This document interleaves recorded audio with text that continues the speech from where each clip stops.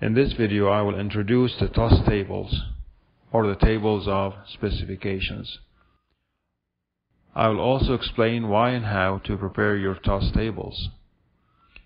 The video also includes illustrations of the main learning domains and suggestions for assessment. The TOS tables are tables that outline your course learning outcomes, taking into account all the topics taught. They also include the methods of assessment, show and justify the weight given to each learning outcome. These tables help the instructor to assess the course learning outcomes and guarantee a fair coverage of the course. The term CLOs will frequently appear in this video. It simply means course learning outcomes. These are stated clearly in your course specifications.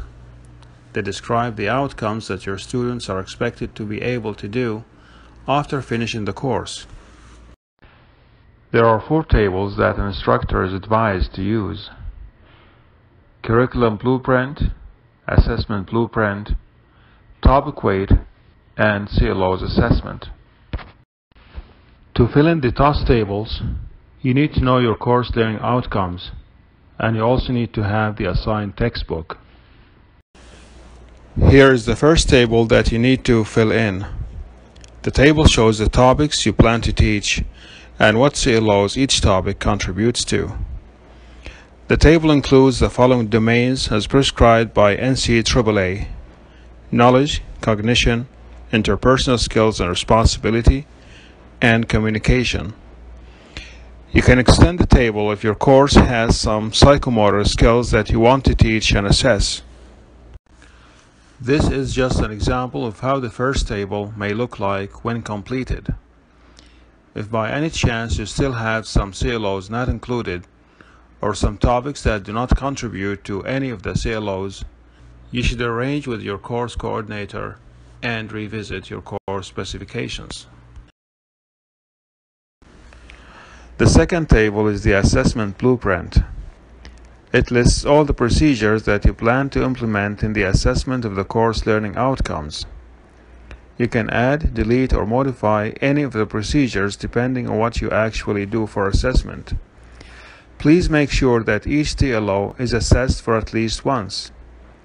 The last column is the average that you should consider when describing the achievement of each CLO. The third table describes the topic weight. This is calculated by dividing the number of days spent on each topic by the total number of days the whole course is taught.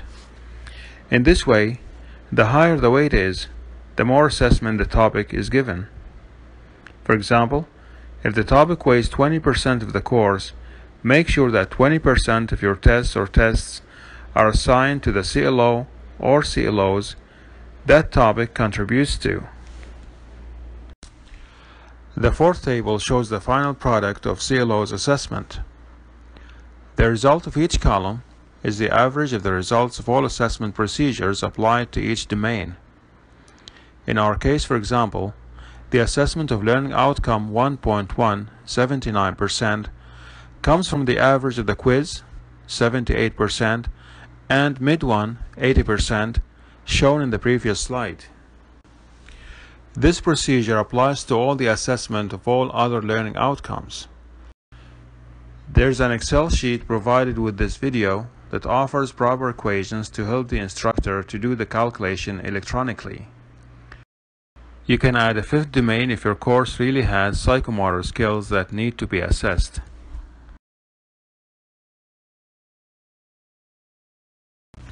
This is how the calculation is done on Excel.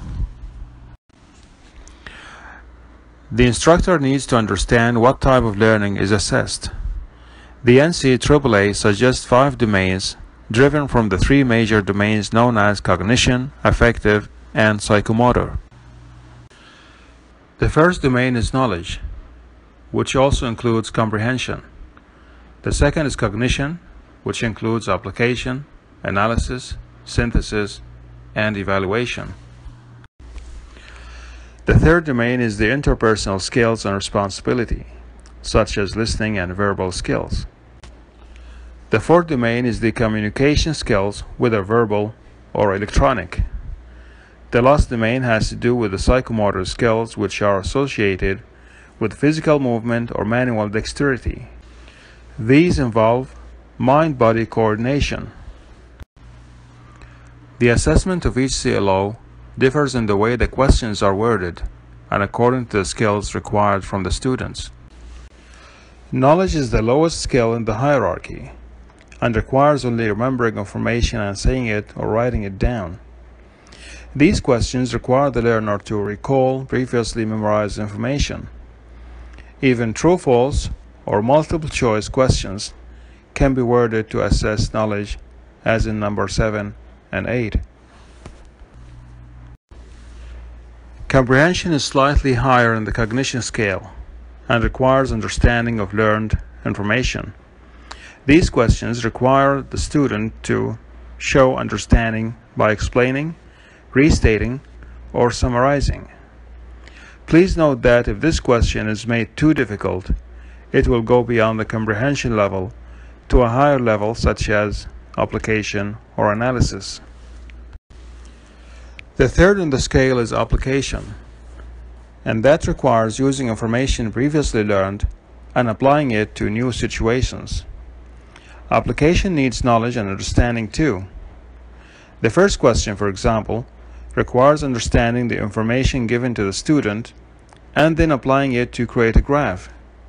The second question requires understanding the instructions to install a new PC unit, and so on. Application, application, application.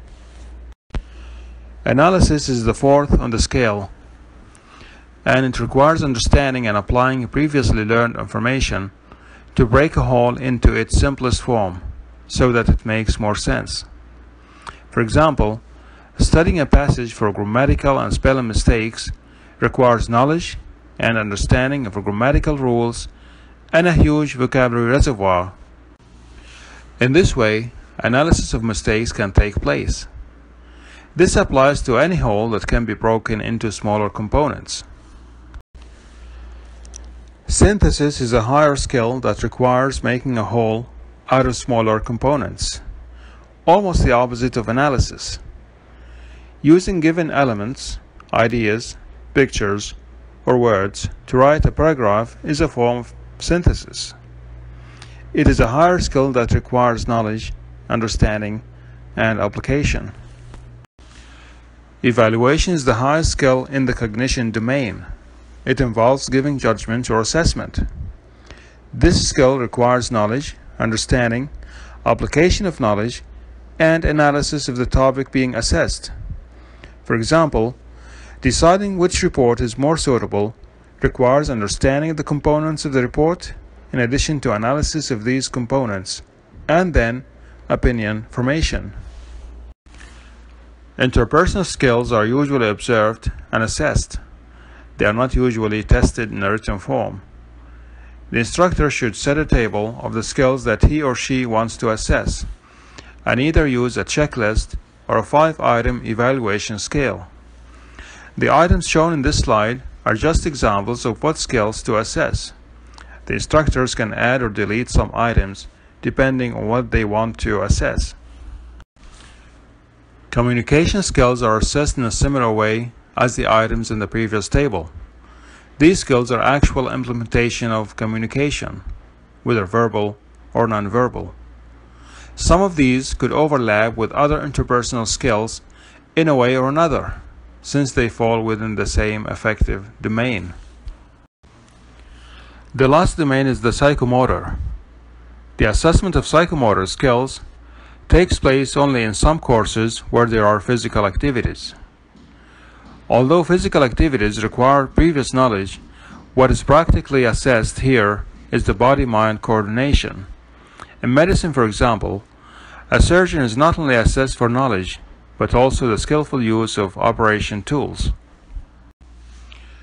To wrap things up, for effective assessment of CLOs, you need to do the following. Study your course specifications very carefully.